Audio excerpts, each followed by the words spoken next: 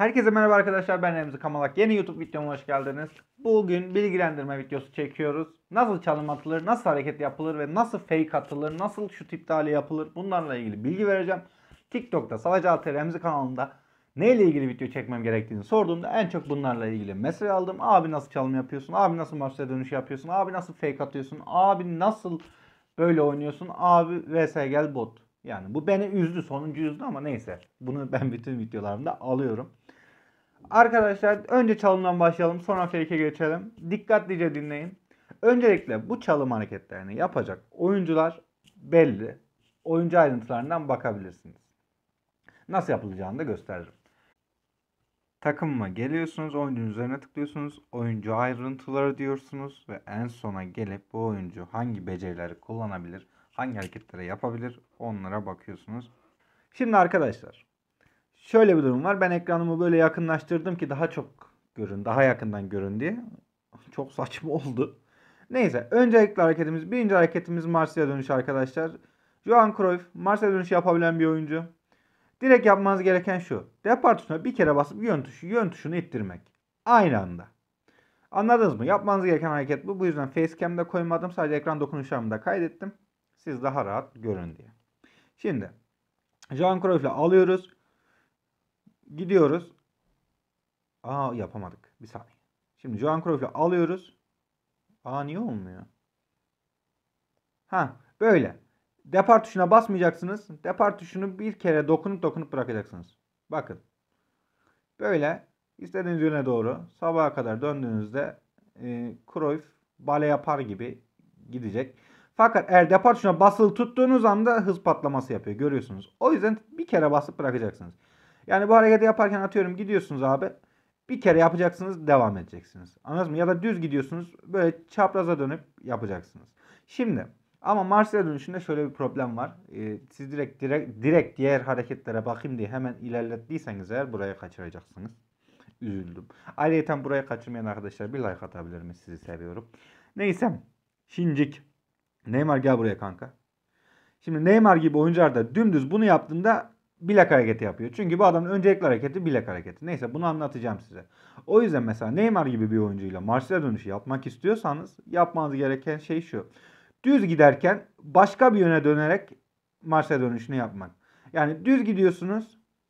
Mesela düz gidiyorum aşağı doğru çektim Marsilya dönüşünü yaptım. Anladınız mı? Yani şu an karşınızda bir rakip var.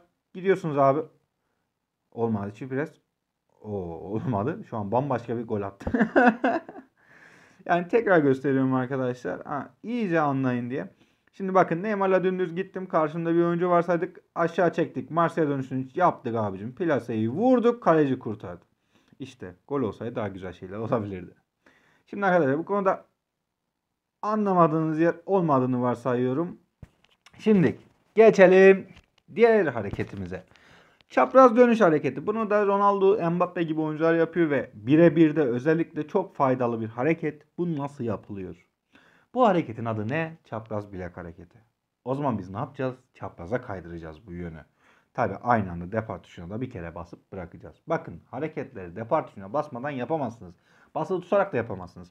Bu abi tık tık tık basıp basıp bırakacağım. Tamam mı? Ronaldo ile dümdüz gidiyorsunuz. Tamam mı? Ondan sonra önünüze oyuncu çıktı. Hop yukarı doğru kaydırın çapraz bir dakika. Hop aşağı kaydırın. Hop.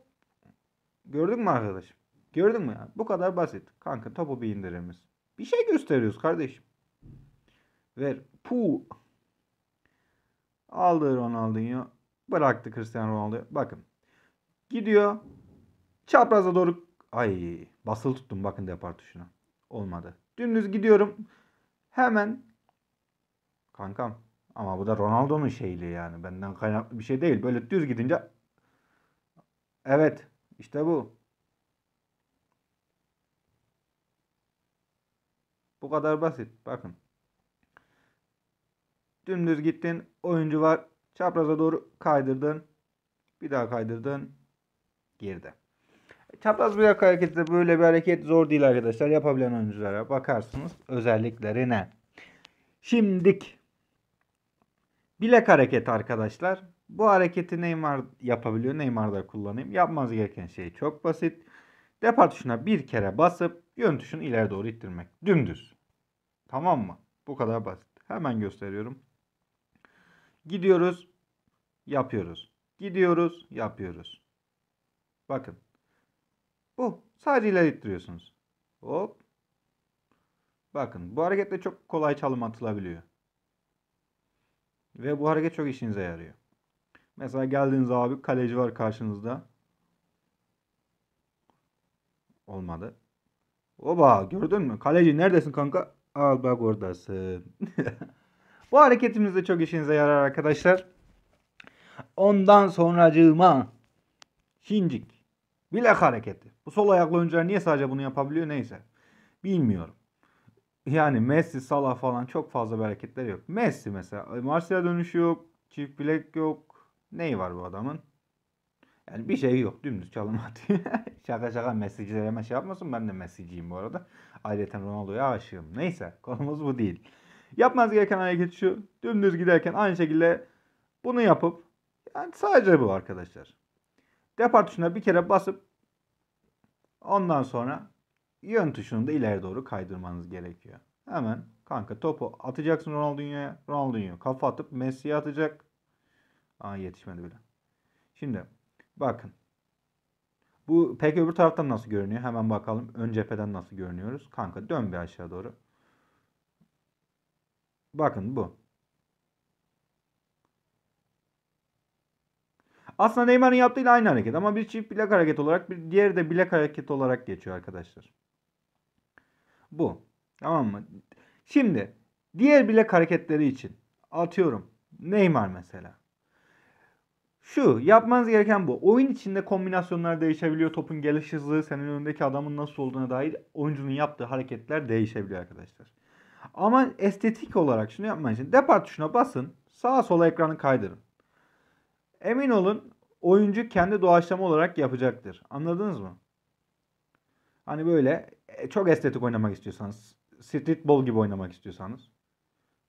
Hani bu şekilde bakın yaptığım gibi depar tuşuna basılı tutuyorum. Yön tuşunu sağa sola kaydırıyorum. O zaman da siz hangi hareket hangi yöne doğru yaptığını zaten yavaş yavaş anlarsınız.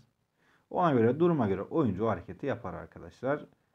Şimdi o kadar basit. Pu Allah.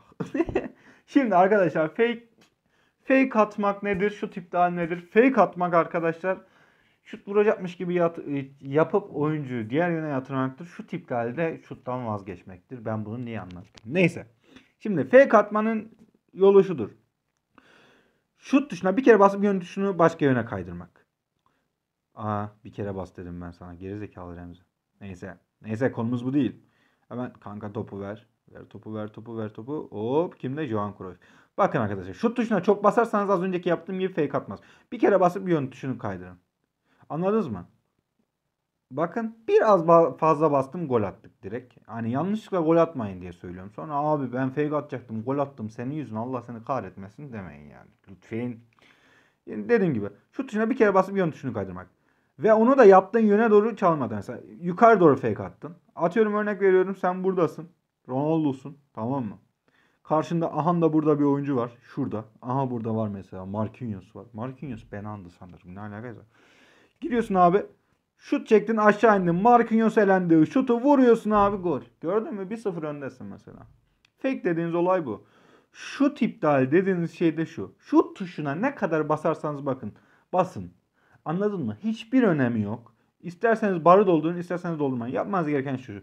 Şut tuşuna basıp aynı anda da yapmanıza gerek yok. Şutta, şut çekene kadar oyuncuya vaktiniz var. Sol sol taraf, ekran sol tarafına iki kere tıklayın. Şu şekilde. Şöyle mesela bastım sonuna kadar. Hop durdu. Gördün mü?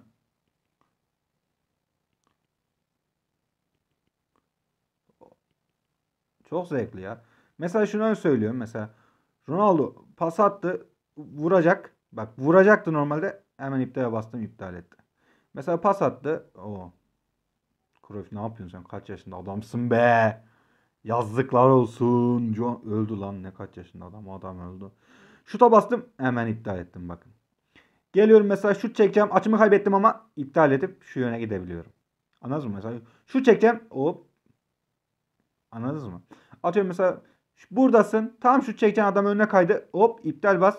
Aşağı çek. Plaseyi bırak. Gol.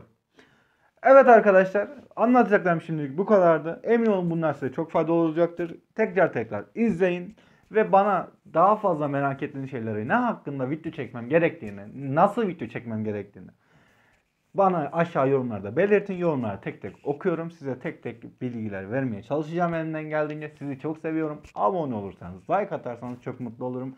Ayrıca Savaşları ekime katılmak için TikTok'tan Savaşları alt Remzi, Instagram Remzi Kamalak iki adreslerini takip edip mesaj atmanız yeterli olacaktır. Ekipte liglerimiz, turnuvalarımız, birbirimiz oyun hakkında bilgi vermelerimiz ve eğlenmemiz var. Bir sürü sizi seviyorum.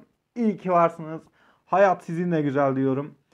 Şu şutu da siz takipçilerim için çekiyorum.